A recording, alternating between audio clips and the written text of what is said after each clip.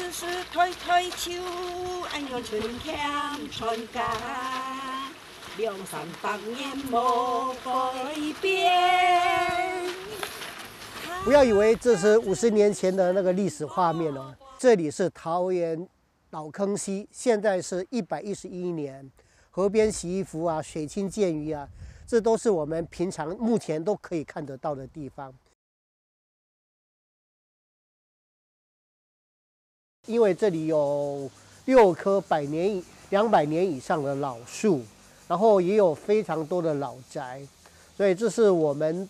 家住在这里，世代住在这里，所以我们很注重这里的家。小时候呢，就这里的环境很漂亮。突然改变的时候，我们没有注意到。但是呢，等我们注意到的时候呢，溪流已经开始慢慢变样了。因为我们的成立的队员里面呢，大部分都是我们沿着溪流的居民，所以我们居民呢，大家都团结起来，然后来维护我们自己的家乡，然后。让我们的生活环境呢，非常的干净，非常的美丽，所以这就是我们所需求的，也就是我们自己的责任。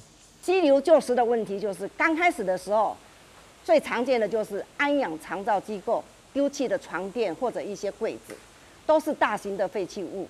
我们加强巡检频率。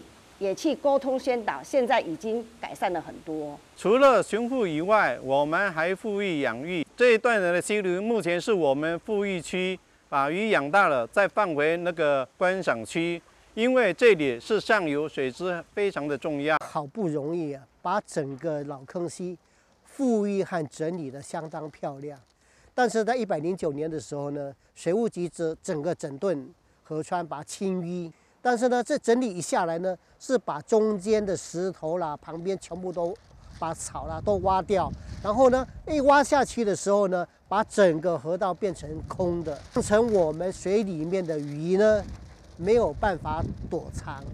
然后那下洪水、暴雨来的时候呢，整个流速增加，会造成整个冲刷更严重。水务局我们争取沟通到最后的结果呢。就是说，把事情要圆满落幕。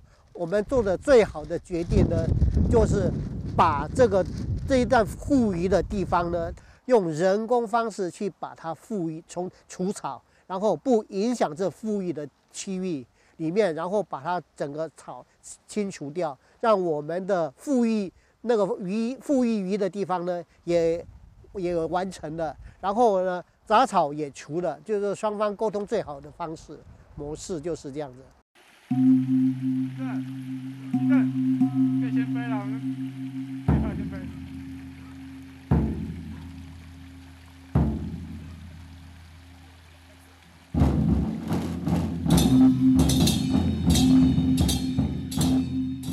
因为水巡是属于我们保护河川的，但是花鼓呢，是因为我们客家的既有传统，现在一直在失传。